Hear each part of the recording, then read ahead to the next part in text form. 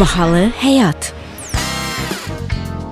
Avtomobil alqı-satqısı saytlarımıza girib sorğu versək görərik ki, Azərbaycanda satılan ən bahalı maşın 538 min dollara olan Rolls-Royce-dur. Bəs dünyada satılan ən bahalı maşın hansıdır? Ən son model Bugatti, Mercedes yoxsa BMW? Yox, heç biri. Dünyanın ən bahalı maşını 1962-ci ildə istehsal edilən Ferrari 250 GTO modelidir. 2018-ci ilin avqustunda hərracıda həmin maşın 48,4 milyon dollara satılıb. 57 yaşı olan həmin Ferrari-nin maksimal sürəti saatda 280 kilometrdir. Maraqlıdır ki, istehsal edildiyi ildə onun dəyəri cəmi 18 min dollara idi. Bu o deməkdir ki, Ferrari 250 GTO ilkin dəyərindən 268 dəfə daha baha satılıb.